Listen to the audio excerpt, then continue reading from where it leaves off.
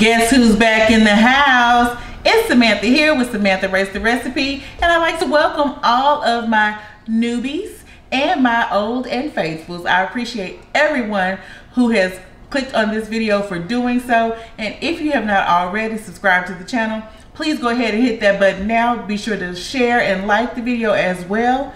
And if you're not sure what the heck you stumbled across, at this channel, we go through in any recipe I've ever seen, um, whether it be on an app, whether it be on a Food Network channel, whatever, TikTok, because they cooking, cooking over there, okay, child?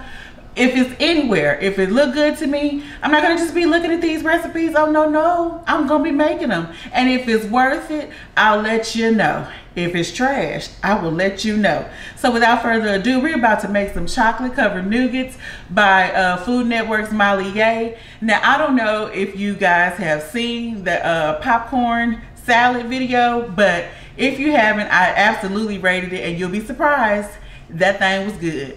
Um, I'll leave a, um, a link like in the card somewhere in here. You'll find it. It's in the cards, in descriptions, whatever. You'll find it. But because I enjoyed that salad so much, I was like, well, what else she got going on in the little farmhouse house? And chocolate covered nougat is something that I found. And I really love nougat. And I have learned how to like pistachios. Um, so we're gonna just get right into it, right? So the first thing we did was take equal parts of um, cornstarch and powdered sugar. And I'm gonna just toss it in here like this we have an 8 by 8 pan. Can y'all see me? Hold tight. I'm not quite a Food Network star just yet, so she a little out of order. So what I'm gonna do is just give this uh, pan a little dusting of that equal part mixture because nougat is sticky, child, and we need to be able to get her on up out of here when the time comes. So now that's done, easy enough, right? the next thing we're gonna do is we're gonna separate. Some so what I'm gonna do is I'm gonna separate some egg whites and then we're going to make the nougat filling but it all kind of comes together pretty quickly when I judging by the um, video that I watched. So we will save the egg yolks for something else for this all we need is the white.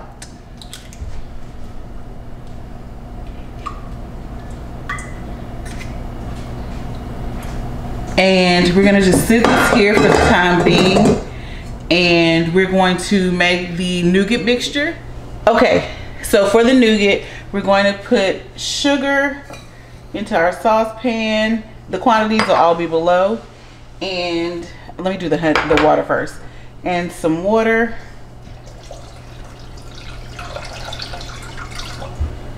and then the honey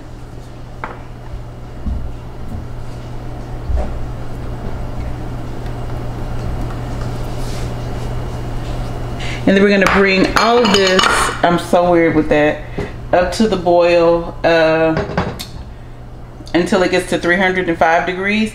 Um, Molly used a candy thermometer and I can I don't know where my candy thermometer is, y'all. So I'm using this guy and I feel like this is better for me anyway. It's, it's an electric um, thermometer. And once it's at 305 degrees, then we will pour this mixture into our um, beaten eggs, right? So that's what's gonna happen. Not beaten, but like our um, egg whites. That's what it is. Okay, so now we're pouring slowly the syrup into the egg white mixture.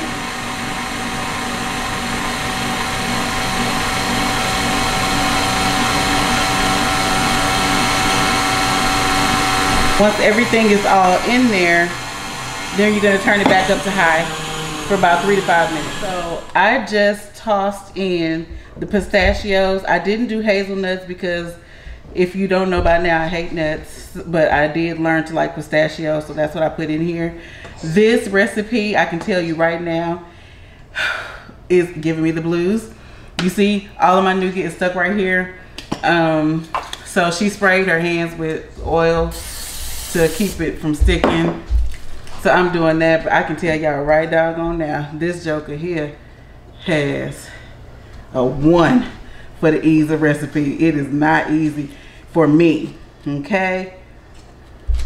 It is all stuck to my little thing.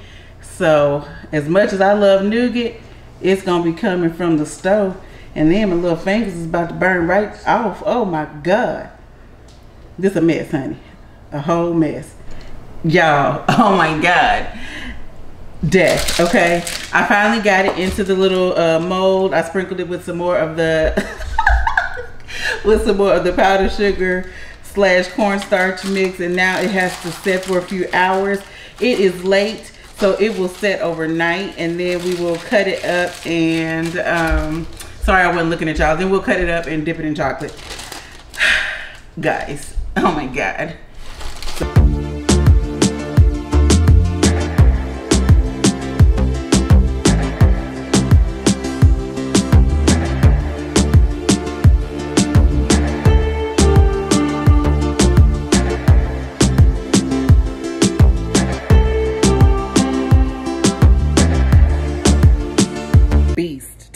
But so far they're turning out really cute. And so i mean i guess it's a labor of love because it's turning out. I hope it tastes good. Oh.